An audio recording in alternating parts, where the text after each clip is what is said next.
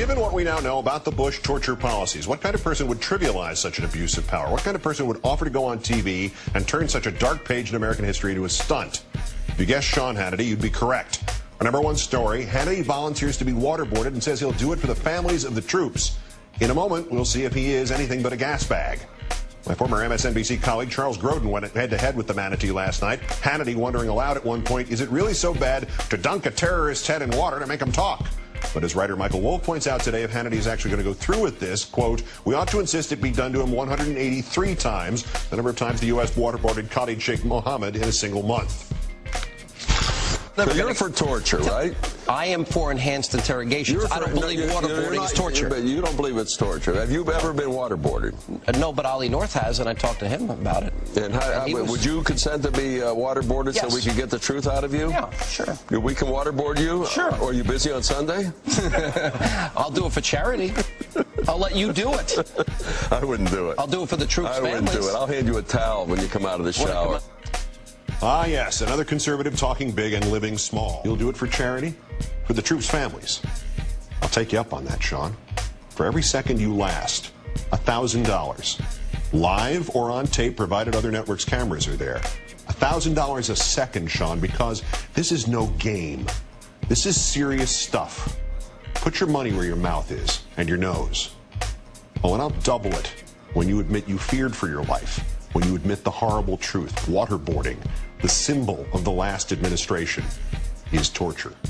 It's about time somebody called that loudmouth punk out. I can't stand Sean Hannity. Welcome into the third and final set of the J. Rouse Show. And of course, you can reach the show at the JRouseShowLive.com, the JRouseShowLive.com.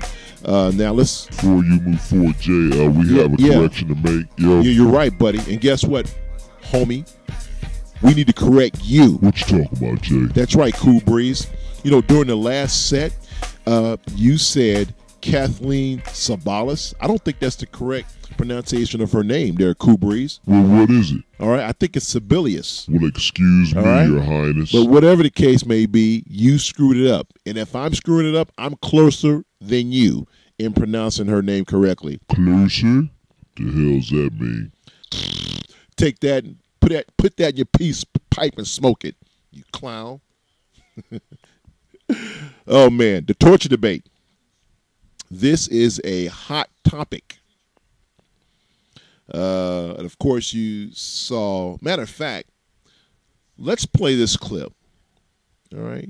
Now, if you guys watch that edition of Countdown, my favorite show, by the way, I think uh, O'Donnell came on there and he made a comment that I think is very indicative, and I think people need to listen. So let's take a look at this clip and we'll talk on the other side this pretty much proves it, doesn't it? Hannity and his, his uh, fellow travelers do not take this topic seriously?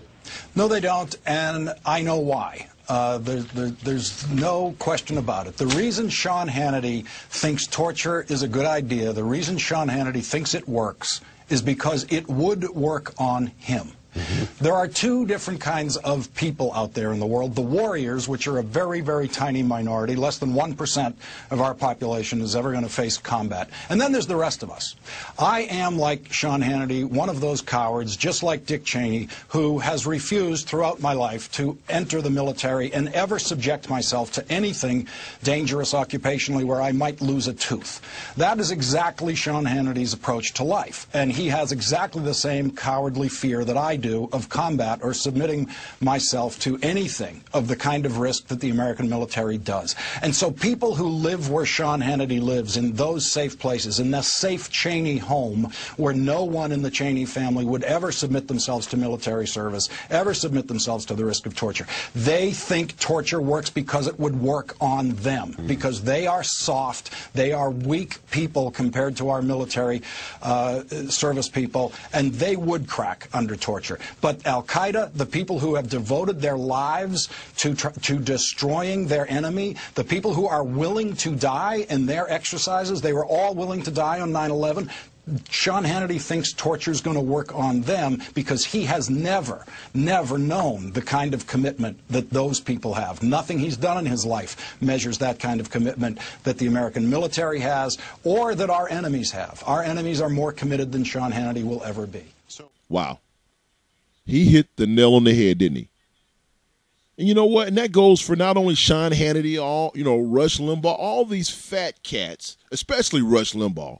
You know, because we have documentation that he actually got out of going to the military. He oh he had a hurt knee or whatever the hell he used as an excuse. But all of these people sit on the sideline and they criticize. They never raised their right hand and took the oath. I, Sean Hannity, do solemnly swear to protect and defend the Constitution of the United States of America. I have. I've served in uniform for 14 and a half years. Okay? So to me, when you sit on the sideline, you know, get in the game. Don't sit and criticize. Get in the freaking game.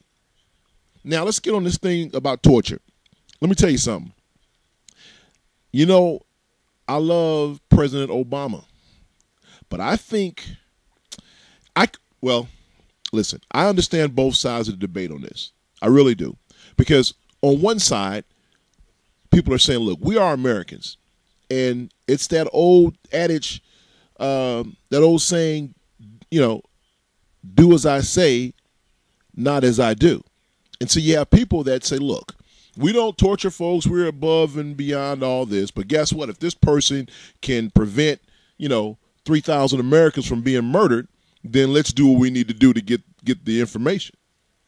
And I guess I would be on that side of the fence if we know for a fact that it works.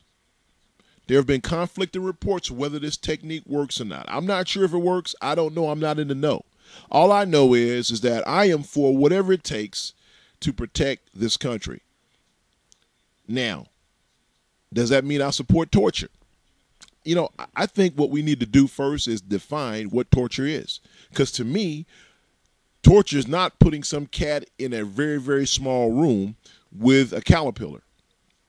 That's not torture. To me, torture is pulling someone's, you know, toenails out or something torture is uh you know sticking something up somebody's behind uh you know I, to me that's what torture is. Well when i it, scratch that anyway. That's what torture is to me. At least it was you know speaking of the behind part to me torture is going to get a prostate exam to be honest with you. But look that's how i really feel about it. So to me now is waterboarding torture to me Hmm. I don't think it is. Now, I may be pissing some folks off here, but I just don't think it is. If it's simulated drowning, I don't uh, think it is. Um, but you know, once again, I don't know. I've never seen anyone waterboarded. I'm not going to lie like Sean Hannity and say I want you to waterboard me because I don't want to because anything can happen when you get you know you can die from anything. And just like uh, Lawrence O'Donnell said, you know, don't be a coward. Don't sit on the sideline talking yin yang. Get out there. So we're waiting until Sean Hannity gets his fat sorry tail under a faucet with a towel over his face, and let's get him waterboarded. But the great thing about this is, is that Sean Hannity can probably pass the test because Sean Hannity knows that they're not going to kill him. See, that's the deal when they're talking about waterboarding. It gives the combatant, the enemy combatant, this person thinks that they're going to drown. So it's a big difference knowing that, hey, I'm not going to drown.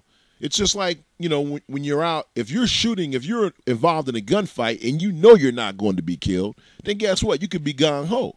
But the element of surprise or the unknown is, hey, I might step out here and get my head blown off. It's a whole different ball game, a whole different mindset when you don't know what the end result will be. You know.